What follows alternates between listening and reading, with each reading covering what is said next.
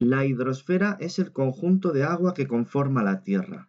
El agua se puede encontrar en estado líquido en los océanos y en los continentes, y en estado sólido en forma de hielo en los glaciares. El agua dulce puede ser de dos tipos. El agua superficial, aquella que está en los ríos y en los lagos, o el agua subterránea, contenida en el interior de la Tierra. Dentro de las rocas existen poros de pequeño tamaño que pueden encerrar agua. Ese conjunto de agua se denomina acuífero. El límite superior del acuífero se llama nivel freático y cuando éste corta con la superficie se produce un pozo natural. La mayor parte del agua dulce que tiene la Tierra está en estado sólido y forma parte de los glaciares de la Antártida y del Polo Norte. El agua salada que conforma los océanos debe su nombre a diferentes sales disueltas en ella.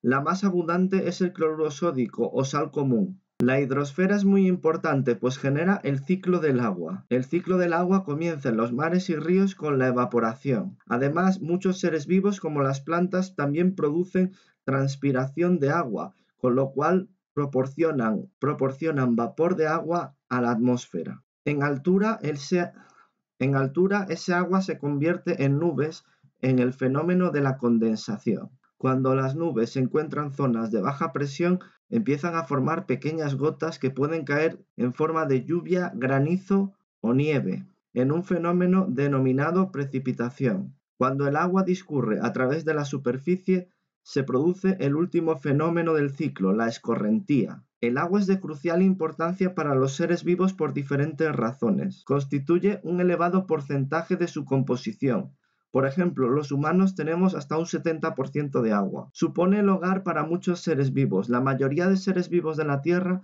viven en zonas acuosas como los océanos. Es el lugar donde transcurren muchas de las reacciones químicas que suceden en el interior de los seres vivos. Por ejemplo, la función de nutrición se realiza a partir de medios acuosos. Además, el agua es el medio de transporte de los seres vivos para distribuir sustancias por su organismo. De igual modo lo utilizan también para la excreción de determinados desechos, como por ejemplo la orina. El agua es muy importante en las plantas. Las plantas reciben el agua a través de sus raíces y hojas y la devuelven en forma de vapor mediante el proceso de la evapotranspiración. Además, el agua es fundamental para las plantas porque sin ella no podrían realizar la fotosíntesis. Por sus características el agua ayuda a los seres vivos a regular la temperatura. Un ejemplo de ello sería el sudor, que permite controlar la temperatura cuando el cuerpo humano tiene demasiado calor.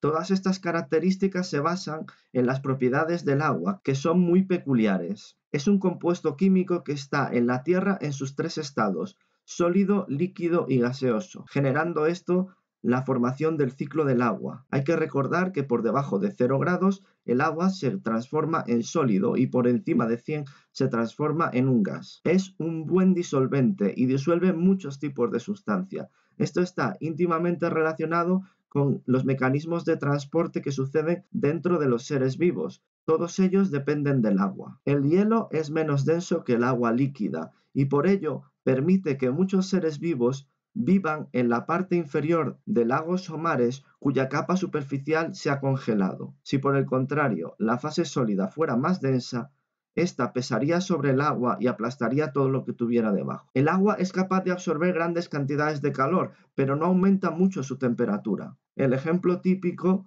sería el de una olla que se pone al fuego.